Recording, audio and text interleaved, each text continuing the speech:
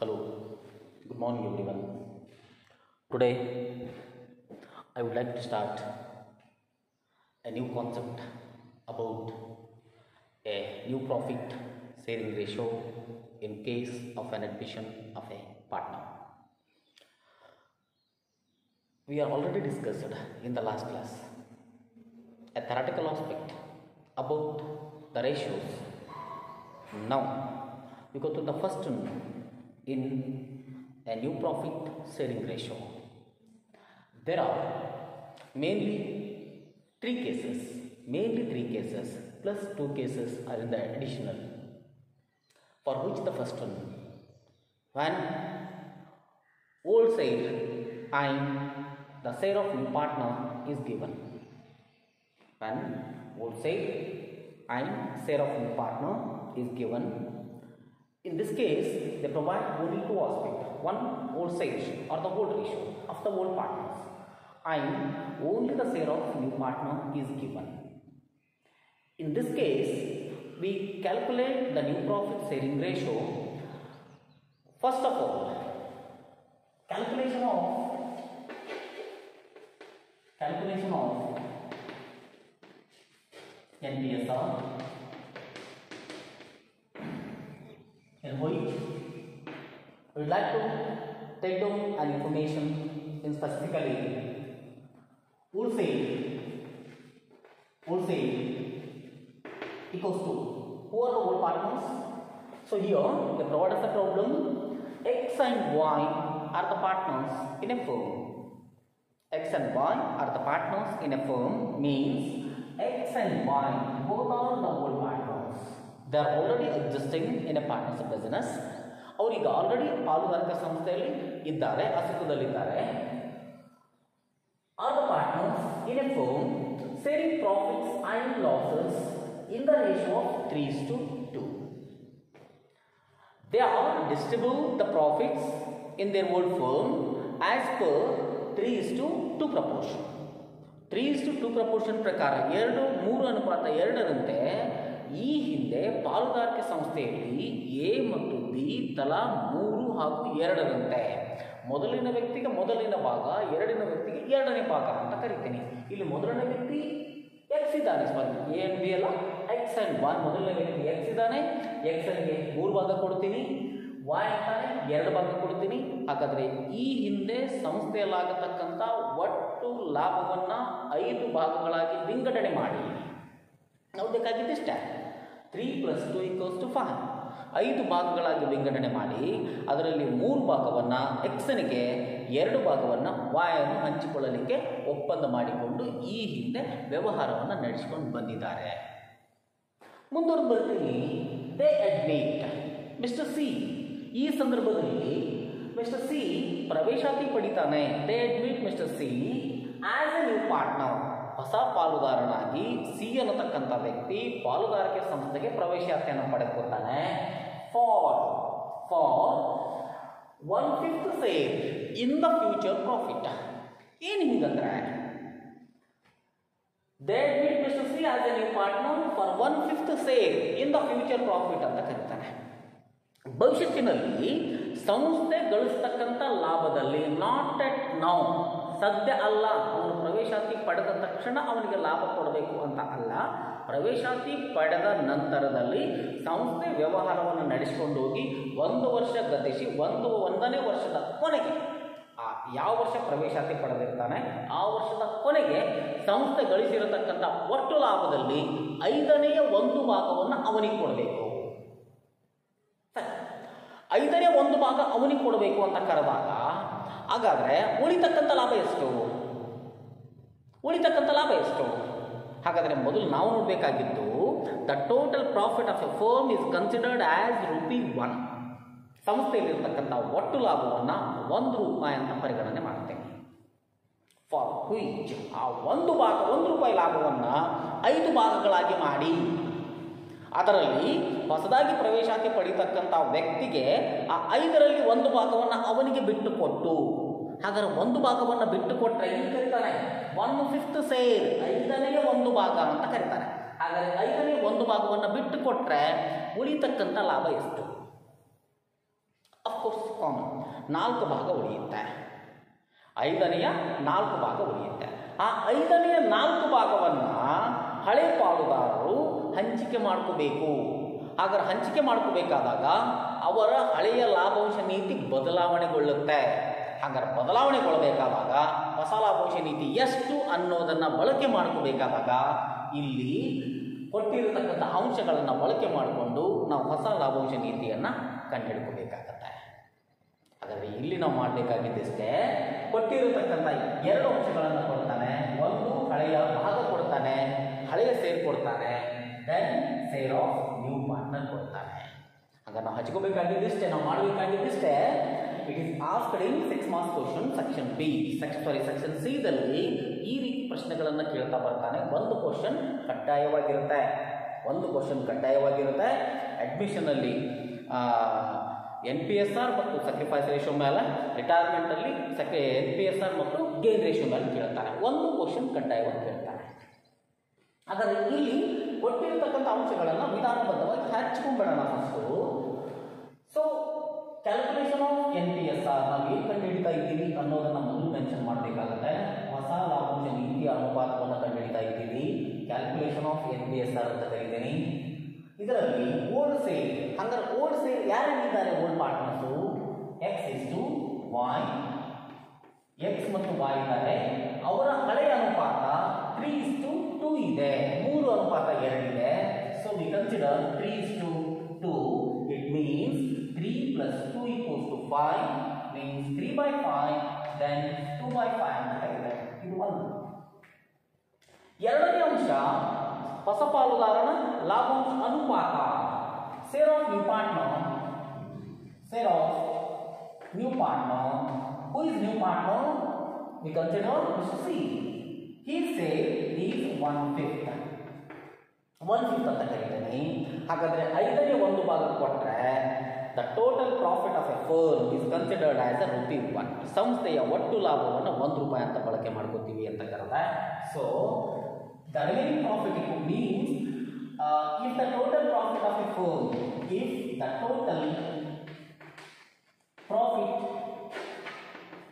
of a firm is rupee rupee one one rupee ಅಂತ consider ಮಾಡಿದರೆ then then the remaining profit equals to the remaining profit equals to profit equals to one minus one by five one minus one by five ಅಂತ ಕರೀತೇನೆ means total profit is rupee one so ಇಲ್ಲಿ ಒಂದರ ಕೆಳಗೆ ಛೇದ ಸಾಮಾನ್ಯವಾಗಿ ಒಂದು ಯಾವಾಗಲೂ ಇರುತ್ತೆ. ಈಗ ತಗೋಬೇಕಾದಾಗ cross multiplication ಮಾಡ್ತಾ ಬರ್ತೀನಿ. ಐದ ಒಂದ ಐದನೇ ಐದು, ಐದ ಒಂದಲೇ ಐದು that is equals to minus ಇರೋದ್ರಿಂದ ಒಂದ ಐದನೇ ಐದು ಮೈನಸ್ ಇದೆ. ಮೈನಸ್ ಅಂತೀನಿ. ಒಂದ ಒಂದಲೇ ಒಂದು divided by five that is equals to four by ನಾಲ್ಕು ಅಪಾನ್ ಐದು ಅಂತ ಕರಿತೀನಿ. ಅಂದರೆ ಐದರಲ್ಲಿ ನಾಲ್ಕು ಭಾಗ ಉಳಿಕೆಯಾಗಿರುತ್ತೆ. ಒಂದು ಭಾಗವನ್ನು ಪ್ರವೇಶಾತಿ ಪಡೆದುಕೊಳ್ತಕ್ಕಂಥ ಹೊಸ ಪಾಲುದಾರರಿಗೆ ಕೊಟ್ಟು ಕಳಿಸ್ತೇವೆ. ಸೊ ಹಿಯೋ ಕೋಸ್ಟು ಹೊಸ ಸೇರ್ ಕಂಡುಹಿಡಿಬೇಕಾದಾಗ music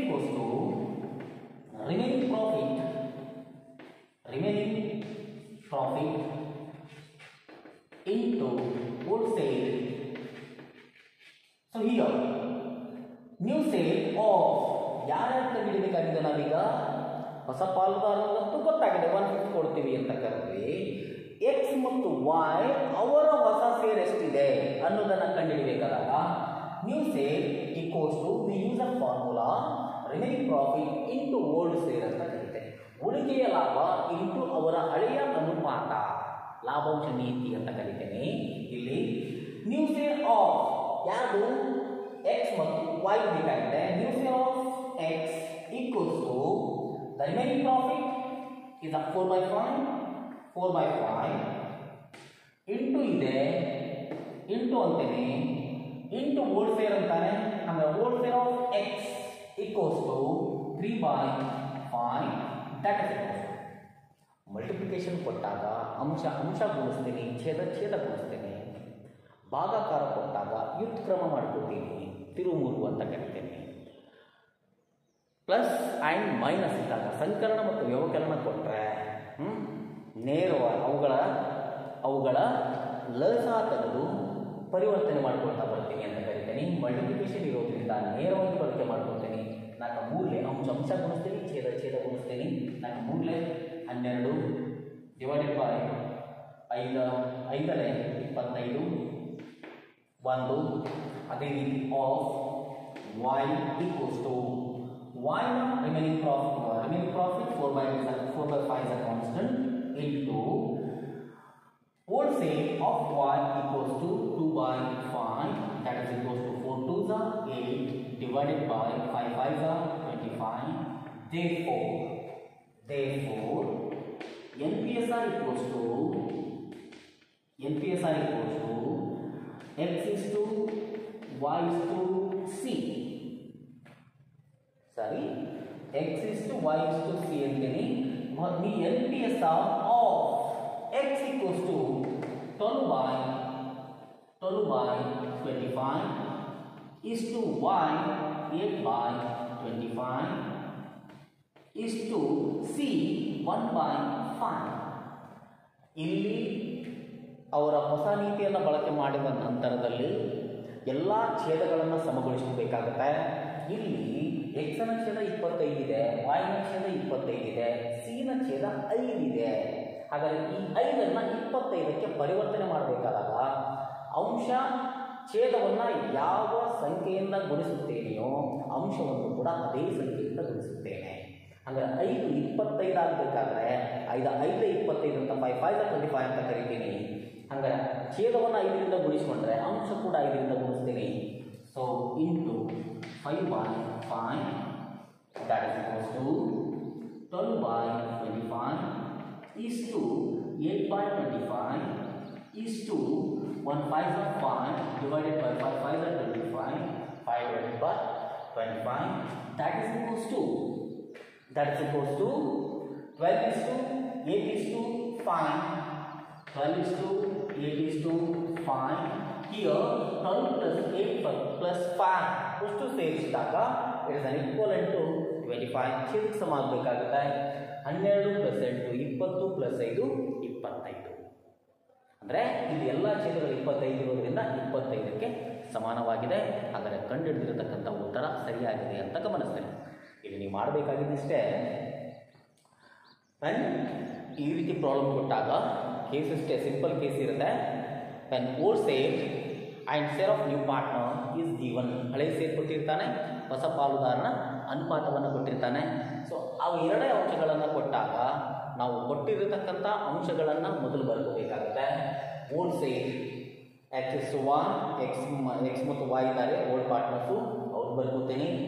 Then share of new partner ಪ್ರಾಬ್ಲಮಲ್ಲಿ ಕೊಟ್ಟಿರ್ತಾನೆ ಒನ್ ಫಿಫ್ತ್ ಅಂತಾನೆ. ಸಿ ಒನ್ ಫಿಫ್ತ್ ಅಂತ ಕರಿತೀನಿ. ಹಾಗಾದರೆ ಈ ರೀತಿ ಅಂಶಗಳನ್ನು ಬರೆದುಕೊಂಡ ನಂತರದಲ್ಲಿ we consider the total profit of a firm is rupee one ಒಟ್ಟು ಸಂಸ್ಥೆಯ ಲಾಭ ಒಂದು ರೂಪಾಯಿ ಅಂತ ಬಳಕೆ ಮಾಡ್ಕೋತೀನಿ the total profit of a firm is rupee one then the remaining profit equals to the remaining profit equals to one minus one by five ಅಂತ ಕರೀತಾರೆ. ಒಟ್ಟು ಲಾಭ ಒಂದು ರೂಪಾಯಿ ಅಂತ ಕರೆದಾಗ ಒಂದರಲ್ಲಿ ಐದನೇ ಒಂದು ಭಾಗವನ್ನು ಕಡಿತಗೊಳ್ಬಡಿಸ್ತೇನೆ ಕಳಿತೇನೆ ಹಾಗಾದರೆ ಉಳಿತಕ್ಕಂಥ ಭಾಗ ಅಂತ ಕರೆದಾಗ ಫೋರ್ ಬೈ ಫೈವ್ ಅಂತ ಕರಿತೇನೆ. ಸೊ ಈಗ ನ್ಯೂ ಸೇರಿ ಕೋಸ್ಟು ಹೊಸ ಸೇರಿ ಕಂಡುಹಿಡಬೇಕಾದಾಗ ನಮಗೆ ರಿಮೈನಿಂಗ್ ಪ್ರಾಫಿಟ್ ಬೇಕಾಗುತ್ತೆ. As per the formula as per the formula ನಮಗೆ, ಆ, ಉಳಿಕೆಯ ಲಾಭ ಎಷ್ಟು ಅನ್ನೋದು ಗೊತ್ತಾದಾಗ, ಹೊಸ ಲಾಭಾಂಶ ನೀತಿ ಅನುಪಾತ ಕಂಡುಹಿಡಿಯಲಿಕ್ಕೆ ಸರಳ ಆಗುತ್ತೆ ಹೀಗಾಗಿ, ಇಲ್ಲಿ ಉಳಿಕೆಯ ಲಾಭವನ್ನು ಮೊದಲು ಕಂಡುಹಿಡ್ಕೊತೇವೆ. ತದನಂತರದಲ್ಲಿ ಫಾರ್ಮುಲಾಗೆ ಬರ್ತೇನೆ new share cost remaining profit into old share ಅಂತ ಕರೀತಾರೆ. Remaining profit is remaining profit is a common for both ಇಬ್ಬರಿಗೂ ಸ್ಥಿರವಾಗಿರುತ್ತೆ four by five four by five ಅಂತ ಹೇಳ್ತೀನಿ. ಇಂಟು ಓಲ್ಡ್ ಸೇರ್ ಅಂತಾನೆ. ಓಲ್ಡ್ ಸೇರು ಎಕ್ಸ್ ಬೇರೆ ಇರುತ್ತೆ ವಾಯ್ ಬೇರೆ ಇರುತ್ತೆ. ಅವರ ಓಲ್ಡ್ ಸೇರನ್ನು ಆ ರೆವೆನ್ಯೂ ಪ್ರಾಫಿಟ್ಗೆ ಮಲ್ಟಿಪ್ಲಿಕೇಶನ್ ಮಾಡ್ತೀನಿ. ಬರೋದು ಅವರ ಹೊಸ ಲಾಭಾಂಶ ನೀತಿ ಆಗುತ್ತೆ ಹೀಗಾಗಿ ಕೆಳಗಡೆ ತುಂಬಬೇಕಾದಾಗ ದೇ ಫೋರ್ ಎಕ್ಸ್ ಅಂತ ಹಿಡ್ಕೊತೀನಿ four by five revenue profit ಇದೆ ಇಂಟು ತ್ರೀ ಬೈ ಫೈವ್ ಅವನ ಹಳೆ ಸೇರಿದೆ ಅವೆರಡನ್ನು ಮಲ್ಟಿಪ್ಲಿಕೇಶನ್ ಮಾಡಿದರೆ ಟ್ವೆಲ್ ಬೈ ಟ್ವೆಂಟಿ ಫೈವ್ ಆಗುತ್ತೆ. ಅದೇ ರೀತಿ ಒಂದು remaining profit four by five ಇದೆ ten is whole share two by five ಇದೆ ಮಲ್ಟಿಪ್ಲಿಕೇಶನ್ ಮಾಡಿದಾಗ ಏಟ್ ಬೈ ಟ್ವೆಂಟಿ ಫೈವ್ ಆಗುತ್ತೆ ದೇ ಫೋರ್ ಆದ್ದರಿಂದ ಹೊಸ ಲಾಭಾಂಶ ನೀತಿಯ ಅನುಪಾತ equals to new profit sharing ratio N P S R ಅಂತ ಕರೀತಾರೆ four N P S R equals to X is to Y is to C ಹೊಸ ಲಾಭಾಂಶ ನೀತಿ ಅನುಪಾತ ಕಂಡುಹಿಡಬೇಕಾದಾಗ ಹೊಸ ಪಾಲುದಾರರನ್ನು ಸೇರಿಸಿಕೊಂಡು ಹೊಸ ಲಾಭಾಂಶ ನೀತಿ ಅನುಪಾತವನ್ನು ಶೋ ಮಾಡಬೇಕಾಗುತ್ತೆ, ತೋರಿಸಬೇಕಾಗುತ್ತೆ. ಆದರೆ ಇಲ್ಲಿ therefore N P S R equals to X is to Y is to C ಅಂತೀನಿ. ಎಕ್ಸ್ನ ಹೊಸ ಸೇರು ಟ್ವೆಲ್ ಬೈ ಟ್ವೆಂಟಿ ಫೈವ್ ಬಂದಿದೆ. ಆ ಟ್ವೆಲ್ ಬೈ ಟ್ವೆಂಟಿ ಫೈವ್ ಬಳಕೆ ಮಾಡ್ಕೊತೀನಿ. ವೈ ನ share eight by twenty five ಬಂದಿದೆ. ಏಟ್ ಬೈ ಟ್ವೆಂಟಿ ಫೈವ್ ಅಂತ ಬಳಕೆ ಮಾಡ್ಕೊತೀನಿ. ಸಿ ನ ಸೇರು ಒನ್ ಬೈ ಫೈವ್ ಇದೆ.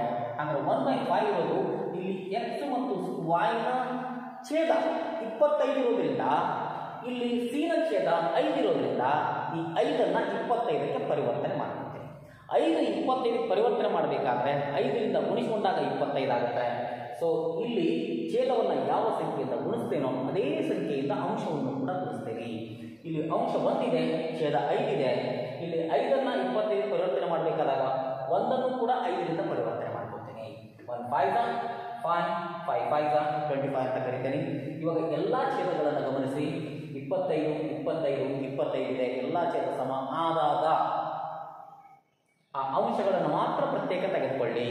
ಎಕ್ಸ್ನ ಭಾಗ ಟ್ವೆಲ್ವ್ ಇದೆ ವಾಯ್ನ ಭಾಗ ಏಟ್ ಇದೆ ಸಿನ ಭಾಗ ಐದಿದೆ ಈ ಒಟ್ಟು ಅಂಶಗಳನ್ನು ಸೇರಿಸಿದಾಗ eight plus twelve plus eight plus five to twenty five ಈ ಛೇದಕ್ಕೆ ಸಮನಾಗುತ್ತೆ. ಸಮನಾದಾಗ ನಾವು ಕಂಡುಹಿಡಿದಿರತಕ್ಕಂಥ ರಿಸಲ್ಟು ಸರಿಯಾಗಿದೆ ಅಂತ ಗುರುತಿಸ್ಕೋಬೇಕು. ಇನ್ನೊಮ್ಮೆ ಕೀನಾಗಿ ನೋಡಿ, ಸರಿಯಾಗಿ ನೋಡಿ, ಅರ್ಥ ಆಗುತ್ತೆ. ಹ್ಞೂ ಸೊ ಇದು ಮೊದಲನೇ ಕಾನ್ಸೆಪ್ಟ್ ಇನ್ನು ಎರಡನೇ ಕಾನ್ಸೆಪ್ಟಿಗೆ ಬರಬೇಕಾದಾಗ, ಎರಡನೇ ಕಾನ್ಸೆಪ್ಟಲ್ಲಿ when old share share of new partner and share acquired or given share acquired or given third case share sacrificed or given ಅಂತ ಹೇಳ್ತೀನಿ ಸೊ ಈ ಅಂಶಕ್ಕೆ ಸಂಬಂಧಪಟ್ಟಂತೆ ನಿಧಾನವಾಗಿ ಮುಂದಿನ ಕ್ಲಾಸಲ್ಲಿ ನಾನು ವಿಡಿಯೋಗಳನ್ನು ಕೊಡ್ತೀನಿ ಅಲ್ಲಿವರೆಗೂ ನೋಡಿ, ಅದನ್ನು ಸರಿಯಾಗಿ ನೋಟ್ ಮಾಡಿ, ನೀಟಾಗಿ ಬರೆದಿಟ್ಕೊಳ್ಳಿ. ಒಮ್ಮೆ ಬಿಟ್ಟು ಎರಡು ಸಲ ನೋಡಿದರೆ ನೀಟಾಗಿ ಅರ್ಥ ಆಗುತ್ತೆ. ಆ ಕಾನ್ಸೆಪ್ಟನ್ನು ಫಸ್ಟು ಸರಿಯಾಗಿ ಅರ್ಥೈಸ್ಕೊಂಡು ಅವುಗಳನ್ನು ಪ್ರತ್ಯೇಕ ನೋಟ್ಸಲ್ಲಿ ರೆಡಿ ಮಾಡಿರ್ತೀವಿ. ಇಡ್ತಾ ಬನ್ನಿ. ಈ ಮುಂದಿನ ಕಾನ್ಸೆಪ್ಟಿಗೆ ಸಂಬಂಧಪಟ್ಟಂತೆ ಮುಂದಿನ ವಿಡಿಯೋದಲ್ಲಿ ನಿಮಗೆ ಒದಗಿಸಿಕೊಡ್ತೇನೆ